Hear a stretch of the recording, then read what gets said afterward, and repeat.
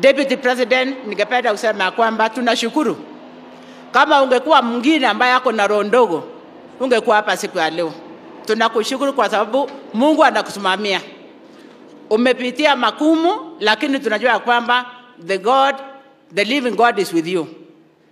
Kiti ambaye una occupy in this country ulipewa na wananchi, na tulikupea kama pea wewe na president wetu, na tunasema ya kwamba what you are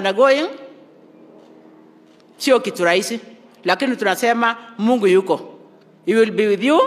Hata wakisema ya kwamba wanatoa security, lakini security ya kwanza na ni ya muhimu ni Mwenyezi Mungu, na atakusimamia. The constitution is very clear kwa mambo ya security ya president na deputy president. There is no mixing. It says GSU is supposed to be the security are deputy president and the president. So hakuna kubadilisha unless we change the constitution. Lakini on top of it all, we are praying for you. The God will be with you. Utapitia magumu lakini you will overcome at the end of it.